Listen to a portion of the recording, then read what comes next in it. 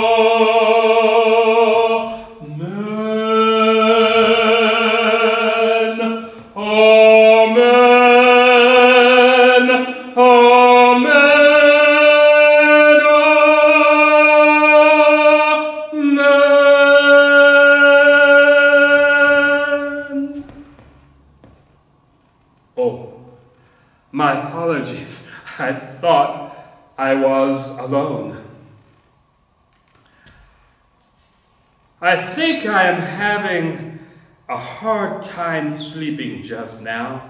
My thoughts have taken me back to a journey years ago.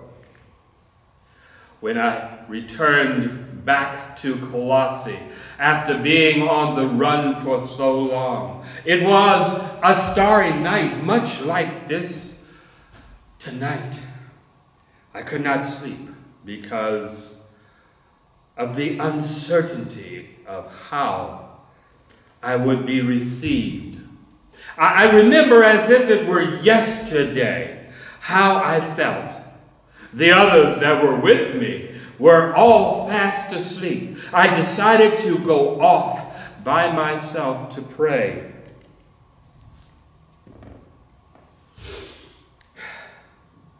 I remember thinking to myself, it seems the closer we get, the more anxious I have become. Looking to heaven, I began thanking God for his interventions on my behalf. My heart began to be filled with praises to God for all of his mercies to me.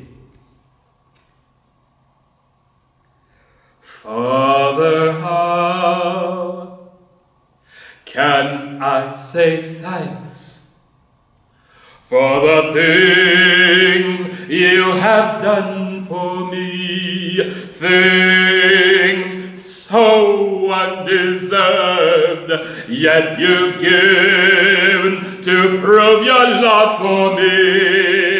With the voices of a million angels, I could not express my gratitude.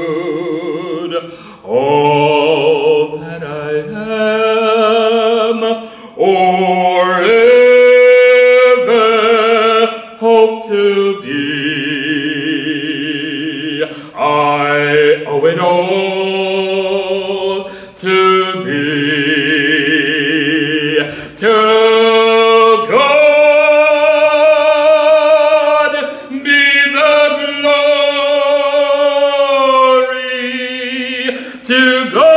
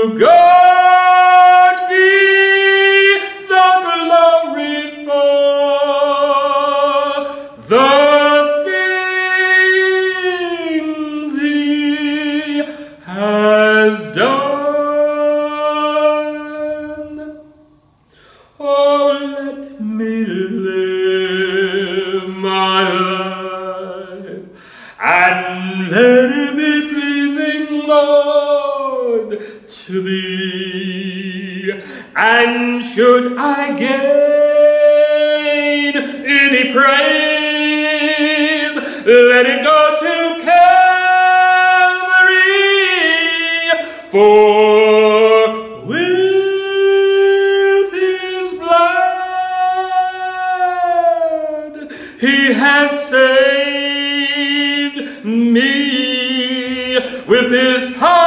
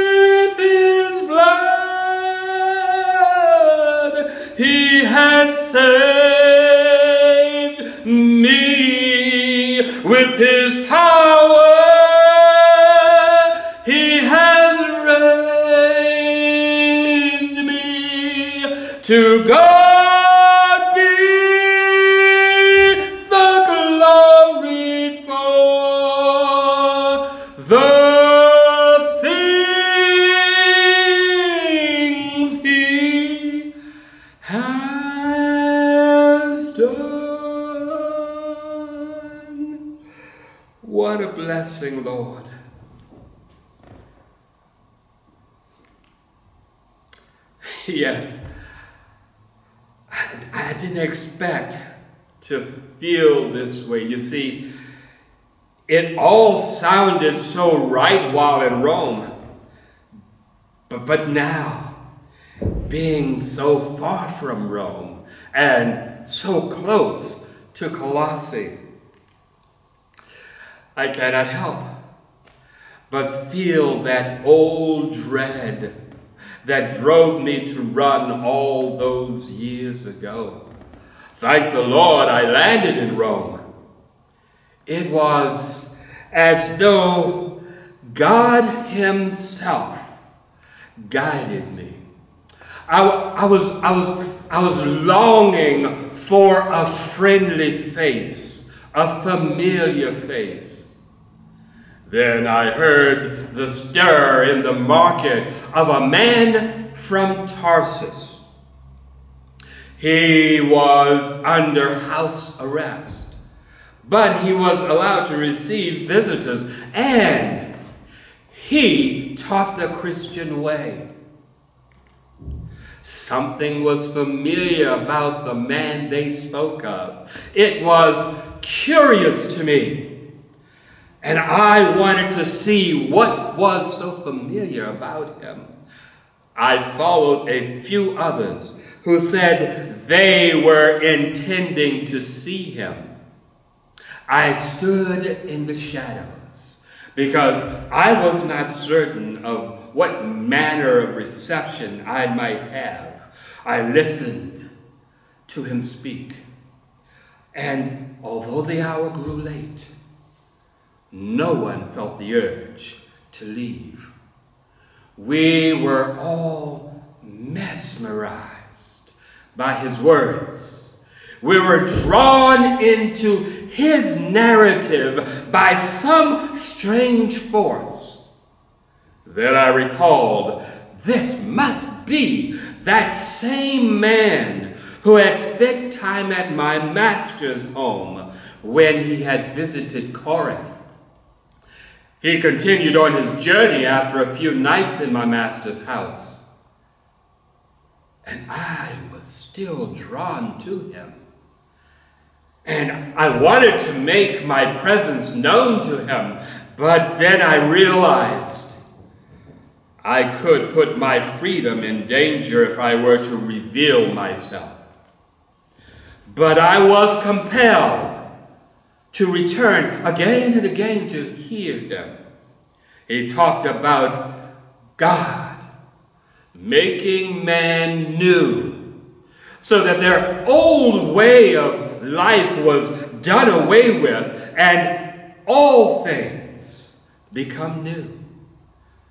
This, this is what I want. A new life, a new beginning. I recall one night Paul talked about the power of the God whom he served. He talked of a time when he and a fellow believer were bound in chains, in prison. They were in chains and shackled to the wall.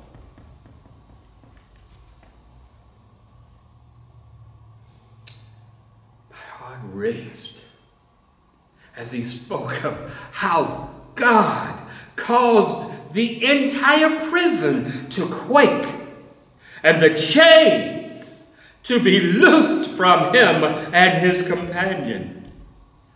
But he did not escape. He waited for the jailer to come and check on the prisoners. After he assured him that everyone was still in place, he preached Christ to the jailer. The jailer, with all of his house, gladly heard the good news that Paul shared. Paul rejoiced that God had allowed him to preach the gospel even from the pit of his jail cell. And even now, when I think of what my life was like before I heard the message of freedom and forgiveness, I cannot help but praise God for his great salvation, that he set me free. The words are true. He whom the Son sets free is free indeed.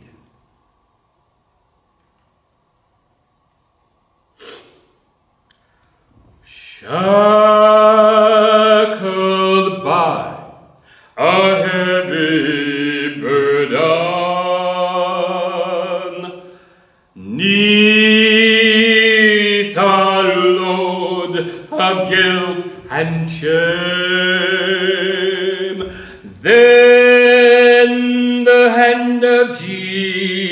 Jesus touched me, and now I am no longer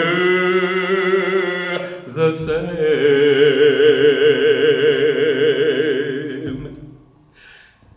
He touched me.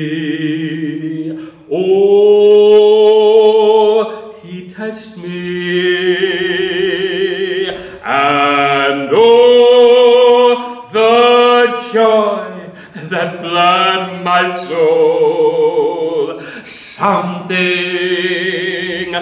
happened, and now I know he touched me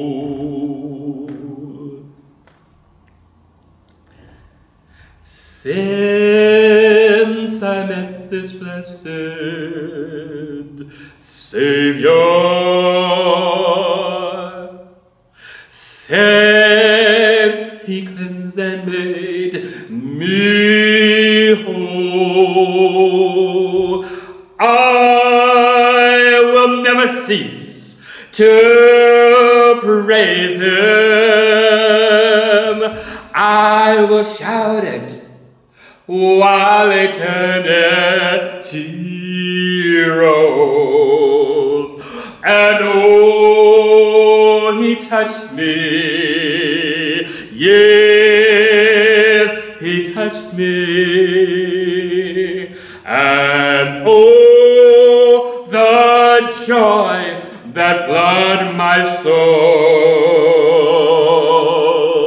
Oh, something happened, and now I know he touched me and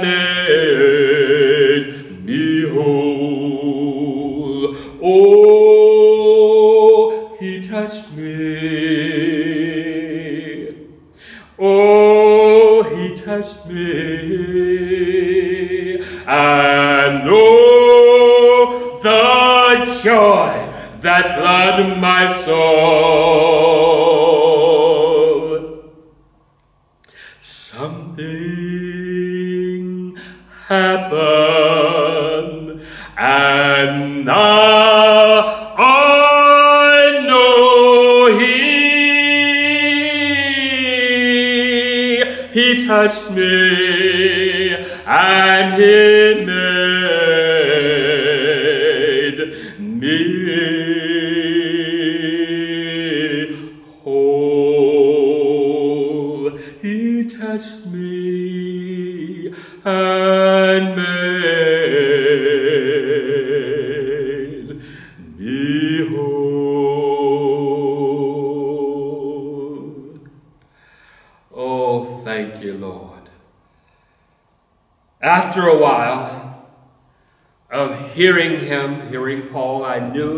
I wanted to be this new man that Paul spoke of. One night, I felt as though he was speaking directly to me.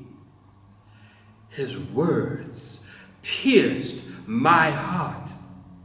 They both angered me and shamed me. He spoke of the Spirit of the living God moving in our midst. And we should not put off one more day. He said, Today is the day of salvation. Today, if you hear his voice, harden not your heart. And it was obvious to me that I had to make a decision. Either I had to stop coming here or I had to go all the way.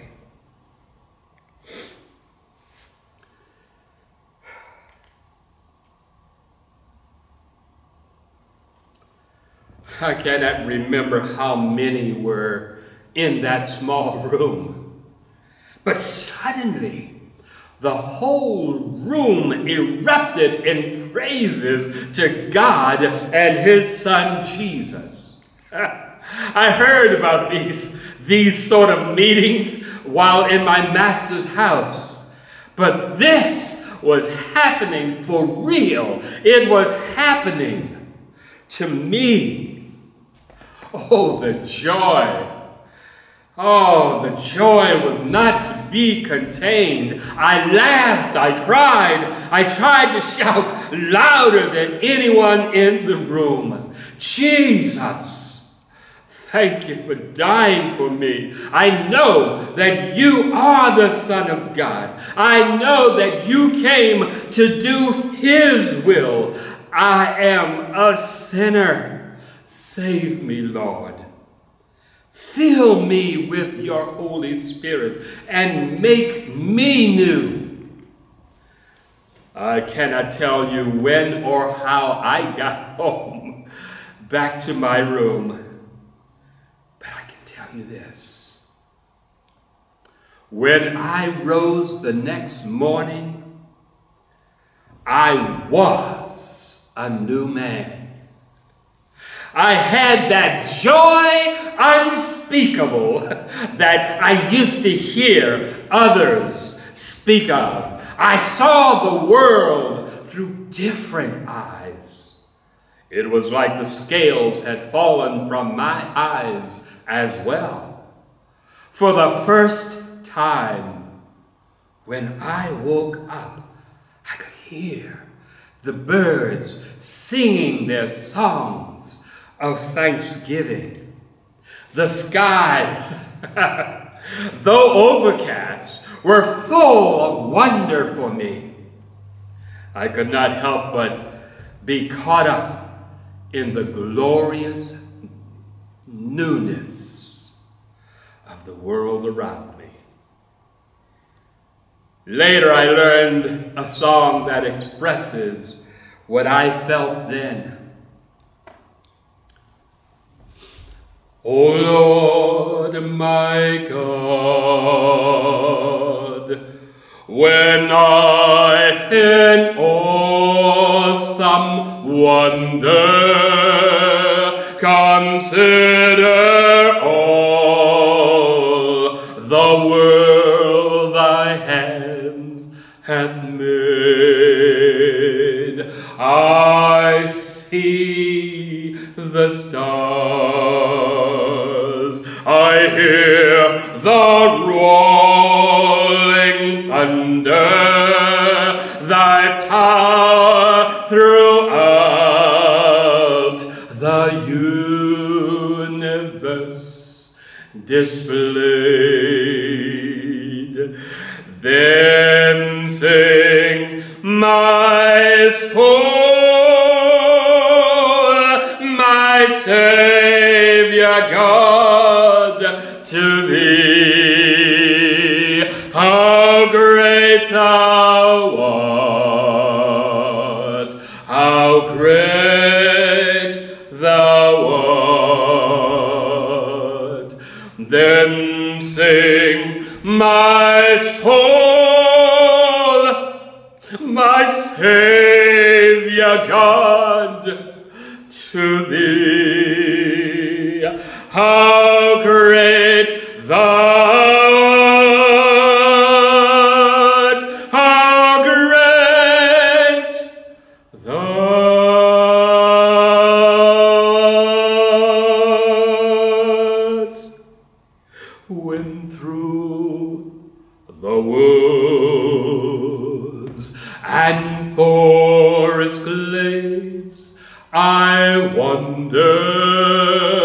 and hear the birds sing sweetly in the trees. When I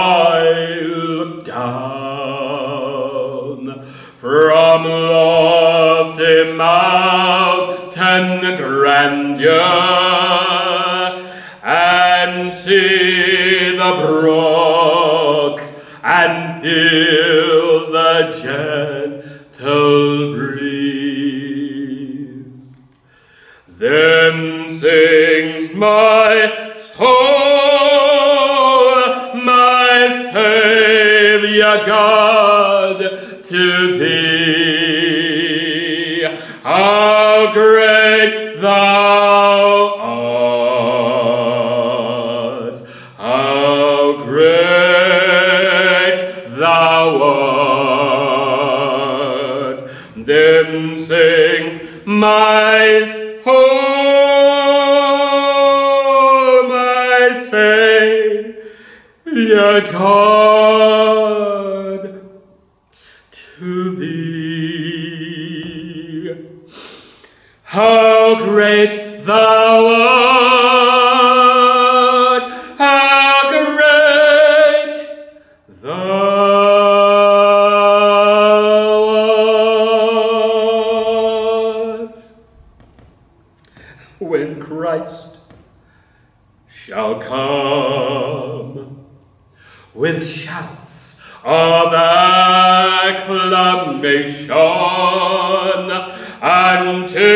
me home.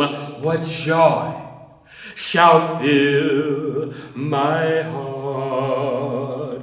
Then I shall bow in humble adoration and there proclaim my God, how great thou art. Then sings my soul, my Savior God, to thee.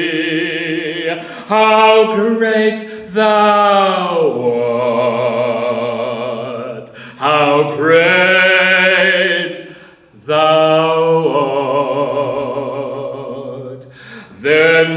sings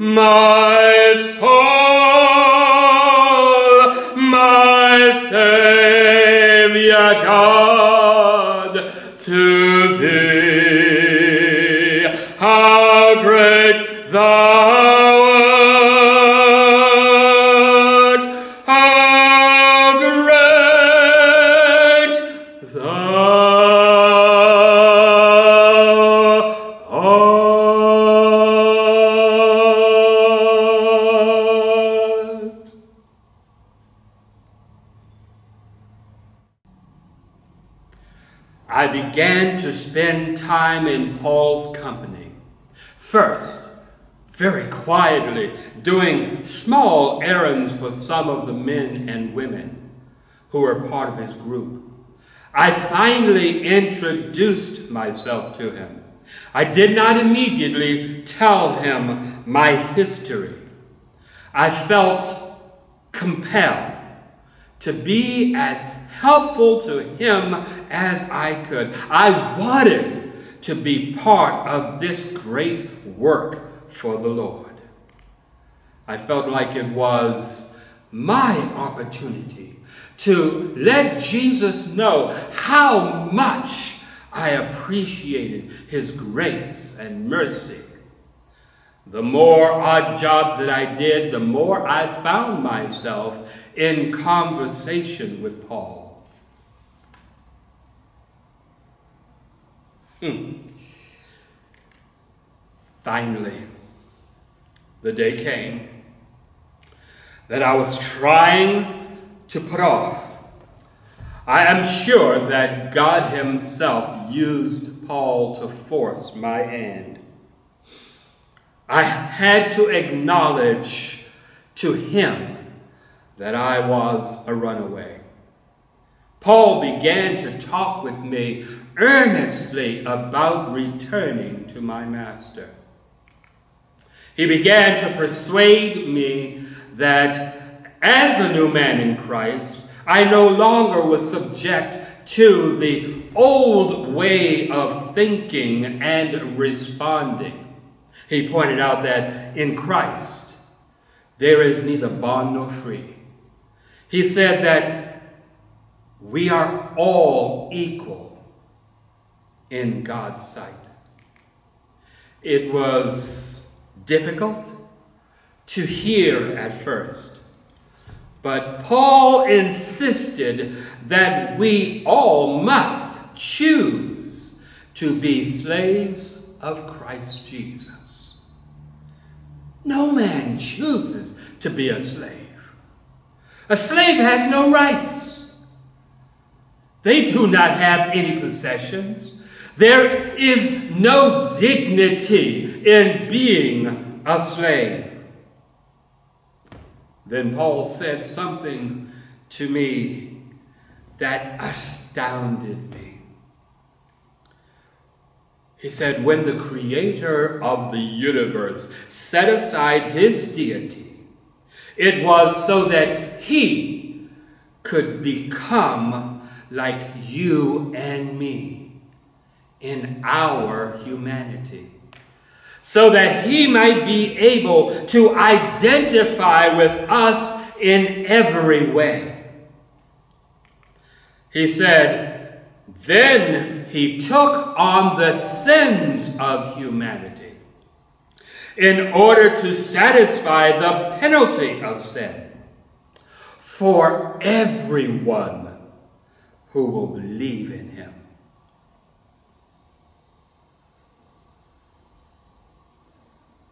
Paul then said, once he did this, he returned to the Father and is now seated next to the Father in heaven.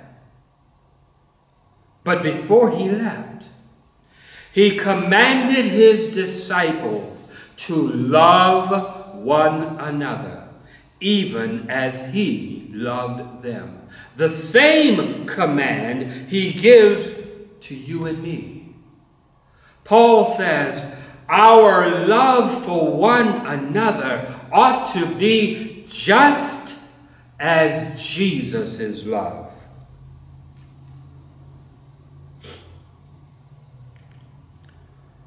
In this, men will know we are his disciples because we have love one for another and we lay down our lives for one another. We are not compelled by old relationships, but by a new relationship of love toward the Father and love toward those who the Father loves.